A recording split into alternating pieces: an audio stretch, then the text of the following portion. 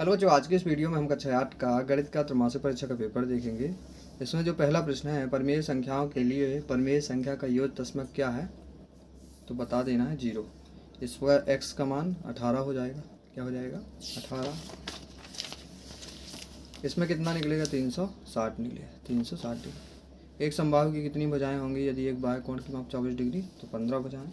कितनी भुजाओं से एक अद्वितीय चतुर्भुज प्राप्त हो सकता है? चार। दस बीस में निम्न वर्ग सीमा दस हो जाएगी। वृत्तालेख क्या कहलाता है? पाई चार्ट कहलाता है। इसमें क्या हो जाएगा? आठवें वाले में बारंबारता, सोलह का वर्ग कितना होगा? दो सौ छप्पन। वर्गमूल किसकी प्रतिलोम संक्रिया है? वर्ग की।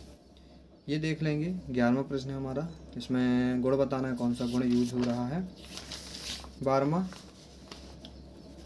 ये है। और तेरहवा प्रश्न ये दे रखा है।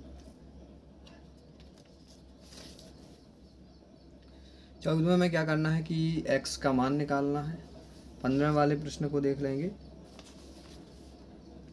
और सोलहवें में ये उनके सामने उनके उत्तर लिखे हुए हैं। सत्रहवा प्रश्न ये देख लेंगे।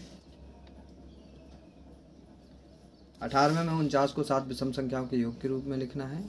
पाइथागोरस त्रिक लिखिए, जिसका एक सदस्य क्या है? चौदह है। ये सत्रह सौ चौंसठ का वर्गमूल ज्ञात करना है। दीर्घोत्तरी प्रश्न देख लेंगे। ये इक्कीसवा प्रश्न है और ये लास्ट बाईसवा प्रश्न देख लेंगे।